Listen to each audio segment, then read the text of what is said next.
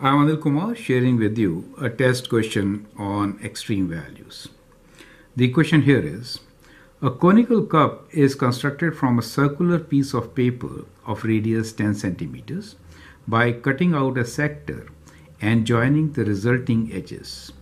What is the maximum volume of the cup? You can always pause the video, answer the question, and then look into my suggestions. So let's try to think about it. So what we are given here is a circular piece of paper, right? Let's say this is our circular piece of paper. Now we're trying to make a cone out of it. So one way, of course, as described here, is that we could cut a piece like this. We can make a notch here. And once we do that, we can actually roll it and uh, form a cone. So we can form a cone which could be kind of like this okay. That's the cone now in this particular cone what we are given here is that the paper has a radius of 10 centimeters. So this is 10 centimeter. So this side actually will be 10 centimeters. So that becomes the edge of our cone. Now in this cone we don't know for different sizes what is going to be the radius and what is going to be the height. So these two things are not known to us.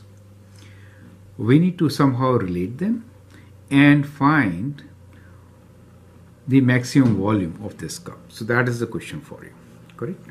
Now I hope the question is clear. You can pause the video, answer, and then look into my suggestions. Now R and H could be related, this is a right triangle as you can see. So they could be related with Pythagorean theorem, correct? So we could write here that r square plus h square is equals to 10 square. So that is how we can write.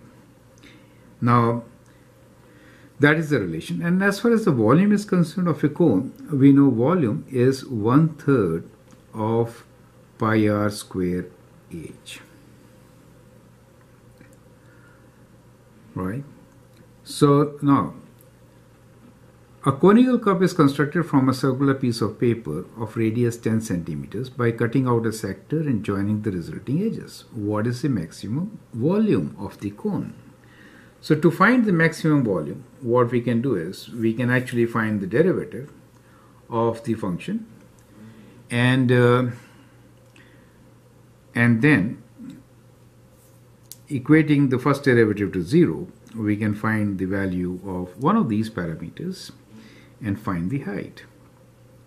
Okay, so now since we have this, it's better to write this in one variable. So I'll write all in h. So let me write r square as equal to, this is 100, minus h square.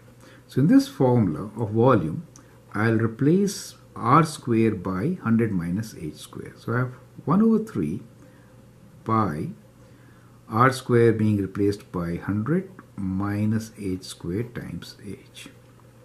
So we have now volume in terms of height which is 1 over 3 pi let's write 100h minus h cube. So we have volume in terms of height and now if I differentiate this with h then then we can get our answer. So we get dv over dh as equal to uh, we get 1 over 3 pi and derivative of this is 100 minus 3h square. So that becomes the derivative for the function. To get the maximum volume, we can equate this to 0 to find the critical number, right? So let's find the critical number by equating our volume expression to 0 and so we get 0 equals to 1 over 3 pi 100 minus 3h square right? Now this can be 0 when 100 minus 3h square is 0 right? So we'll solve for that now. 100 minus 3h square equals to 0 or 3h square equals to 100 or h equals to square root of 100 over 3 which is 10 over square root of 3. So we get our critical number height as 10 over square root 3. And if I substitute this in our expression for volume, we get our answer. Is it okay? So we get our answer from here. Now, another thing which we need to prove is this indeed is a maximum volume, correct? So for maximum volume, we'll look into this expression here. That's the expression. So we can analyze it at a point which is on either side of 10 over square root 3. So let's do that first and we can always calculate the value for this height, right? So let's take two values which are close to 10 over square root 3, right? So let's see what is approximately 10 over square root 3. 10 divided by square root 3 is equal to, within decimals, 5.7. Okay, so if I take a value, let us say let us say on this side 4 and on this side let us say 6 and substitute in the expression for volume right in that case substituting a value analyzing the derivative not this we are analyzing the derivative. We want to see the rate of change correct? So that is the expression which we need to worry about. That is the volume. We'll use that expression to calculate the volume correct? Now here we'll try to analyze whether the rate of change is positive or negative on either side of 10 over square root 3, correct? So if I substitute 3 here, I mean 4 here, in that case 4 square is 16 times 3 is 48, we'll get a positive value, correct? So on this side it is positive. If I write 6 here, 6 square is 36 times 3 is more than 100, so we get a negative value. Perfect?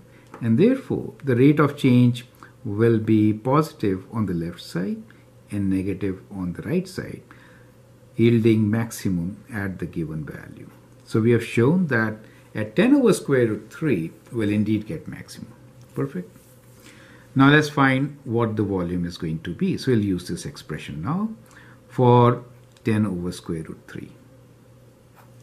So you can always substitute this value 1 over 3 pi uh, so 10 over square root 3 is we can write over here so so h is 10 over so 100 minus when you square this we get 100 over 3 times 10 over square root 3 is it okay so that becomes the the value which uh, if you want to keep it in uh, exact answer then this is a good way to to do it. We have 10 over 3 square root 3.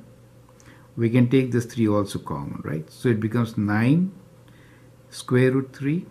We have taken this common denominator. Pi is still there, right? So we have 300 minus 100, which is 200.